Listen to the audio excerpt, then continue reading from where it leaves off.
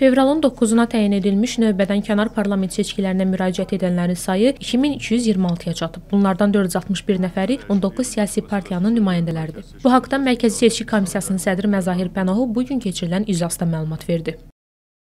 Təşəbbüs qrupu tərəfindən irəli sürülən, sürülənlərin sayı 16 nəfərdir.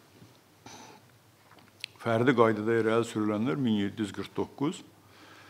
Partiya mənsubiyyəti olan bütün bu namizədliyini irəli sürmək üçün mən dairə seçki komissiyalarına müraciət etmiş bizim vətəndaşlarımızın arasında 802 nəfəri demək siyasi partiyaların 30 30 siyasi partiyanın üzvləridir.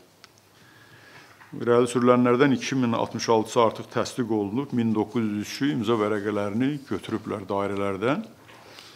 580 iddiaçı artıq imza vərəqələrini qaytarıb və onlardan artıq 285 iddiaçı qeydə alınıbdır. Bu artıq bir yerə 2 nəfərdən demək çox olur. Bunlardan 62 nəfəri 10 siyasi partiya tərəfindən irəli sürülən namizədlərdir.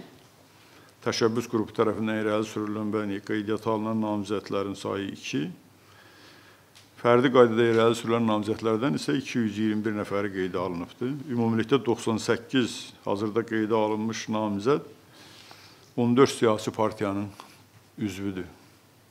Qeyd edək ki, Prezident İlham Əliyev dekabrın 5-də parlamentin buraxılması və Milli Məclisə növbədən kənar seçkilərin təyin edilməsi haqqında sərəncam imzalayıb. Sərəncama əsasən Azərbaycan Respublikası Milli Məclisinin 5-ci çağırışı buraxılıb. Azərbaycan Respublikasının Milli Məclisinə növbədən kənar seçkilər 2020-ci il fevralın 9-na təyin edilib.